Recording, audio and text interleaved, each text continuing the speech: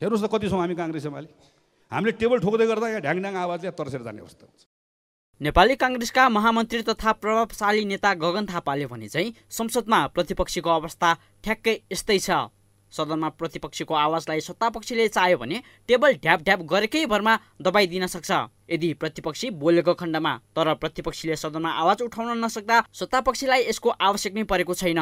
प्रतिनिधि सभाका दुई सय पचहत्तर सदस्य मध्ये प्रधानमन्त्री केपी शर्मा ओलीलाई दुई ठुला दल काङ्ग्रेस र नेकपा एमाले सहित पाँच दल र दुई स्वतन्त्र गरी एक सय अठासी सांसद अर्थात् दुई तिहाई बहुमतको समर्थन छ। त्यसैले संसदको तेस्रो ठुलो शक्ति नेकपा माओवादी केन्द्र चौथो शक्ति राष्ट्रिय स्वतन्त्र पार्टी पाँचौँ शक्ति राष्ट्रिय प्रजातन्त्र पार्टी छैठौँ ठुलो दल नेकपा एकीकृत समाजवादी सहितका अन्य एक एक सांसद गरी विपक्षमा जम्मा चौरात्तर सांसद मात्रै पुग्छन्। त्यसैले विपक्षीले जति सुकै घोक्रो फुलाएर कराए पनि सत्तापक्षले टेबल ठोक्ने हो भने उनीहरू निरीह बन्नु बाहेक अर्को विकल्प हुँदैन।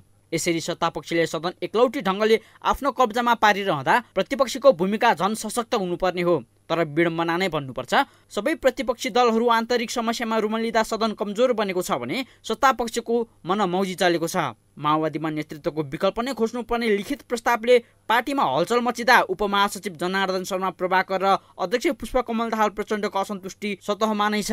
आफ्नो र प्रभाकर बीच ठोसिएको अगुल्टो आगजनी गर्नुभन्दा पनि खाना पकाउनका लागि भएको बताएका प्रचण्डले पार्टीभित्र देखेको आन्तरिक विवाद सुल्झाउन प्रदेशबाट नै परामर्श सुरु गरेका छन्।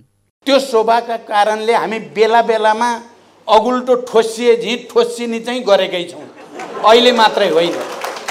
अहिले मात्रै होइन जनयुद्ध कालमा पनि जनयुद्ध पछि पनि र अहिले पनि।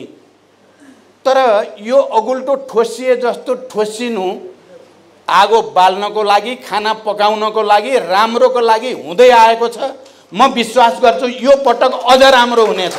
त्यस्तै पार्टी स्थापनाको दुई वर्ष बित्दै गर्दा रासोपाभित्र पनि आन्तरिक विवादले जरा गाडिसकेको छ। पार्टी नेतृत्वको नाम नै विविध काण्डमा मुछिँदा लोकप्रियता गुम्दै गएको रासोपाकै नेताहरूको स्वीकारोक्ति छ। इलाम दुईको उपनिर्वाचनले पनि पार्टीको खसकदो लोकप्रियताको पुष्टि गर्दा महामन्त्री मुकुल ढकालले पार्टीभित्र गरेको विद्रोहले पनि रासोपा समस्याको भुमरीमा छ। त्यसैले रासोपा पनि आन्तरिक विवाद सुल्झाउन नै लागि परेको छ। रासोपा सभापति रवि लामिन छानेको उपस्थितिमा भदौभित्र नै सातवटै प्रदेशमा संक्षिप्त प्रशिक्षण गर्नमा जोड्दा असोजमा राष्ट्रिय सम्मेलनका लागि अग्रसर देखिन्छ यद्यपि प्रतिपक्षी किताबमा गएको धेरै समय पनि नभएको र अरू प्रतिपक्षीले भन्दा आफूले मात्रै बलियो प्रतिपक्षको भूमिका निर्वाह गरेको पार्टीका कार्यवाहक प्रवक्ताको दावी छ। हामी प्रतिपक्षमा पुगेको कति भयो र केही वर्ष त भएको छैन केही हप्ता पनि पनि कम्प्लिट भएको छैन। त्यसैले गर्दा यसलाई हामीले यो एक हप्ता दुई हप्तामै किन यति भएन भनेर होइन। तपाईँले हेर्नुहुन्छ भने हामी मात्र ओजरले आवाज उठाइरहेछ। अरू प्रतिपक्ष कसले आवाज उठाइरहेछ र? होइन? कति प्रतिपक्षसँग त आवाजै छैन। त्यसैले गर्दा केही प्रतिपक्ष त जोखना हेरिरहनु भएको छ।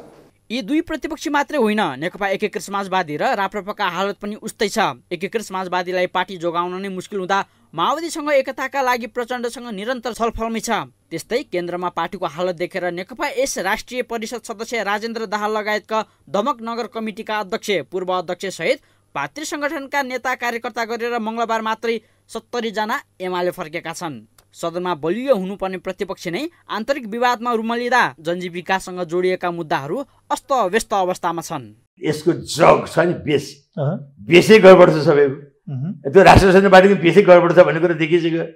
हरेक कुराबाट भावना शुद्ध उद्देश्य पवित्र एउटा सैद्धान्तिक फन्डामेन्टलमा आधारित भएर बेस भएर त्यो एउटा चाहिँ एजेन्डा समातेर गरेको भए पो हुन्थ्यो। एजेन्डा जम्मै व्यक्तिगत स्वार्थ एजेन्डाहरू छन्। अनि आज गऱ्यो भोलि अर्कै हुन्छ त्यो त्यो सधैँ कन्फ्लिक्ट द्वन्द। तपाईँ एजेन्डामा आधार भयो भने मिल्छ नि। विद्युत प्राधिकरणमा कुलमान घिसिङ लपेटिँदा माओवादीले आफ्नो भाग जोगाउनकै लागि भए पनि राजनीतिक रङ्ग देखिने गरी कुलमानको पक्षमा बोल्ने बाहेक प्रतिपक्षी दलले एकचालिस दिन बितिसक्दासम्म अन्य मुद्दा उठाउनै सकेको छैन। नेपालगञ्जमा वडाध्यक्ष र काङ्ग्रेस निकट गुन्डाबीच भएको खुकुरी हानाहान र त्रिवीमा एमाले काङ्ग्रेस बीच देखिएको टसरले सत्तापक्ष नै देशमा अशान्ति र आतंक मचाइरहँदा बुलन्द हुनुपर्ने आवाज मौन छ। सत्तापक्ष एक ढङ्गले अगाडि बढेको अवस्थामा प्रतिपक्षी भूमिकामा रहेका दलहरूले जबरजस्त रूपमा उठाउनु पर्ने जनजीविकाका मुद्दा भने ओझेलमा नै परेका छन्।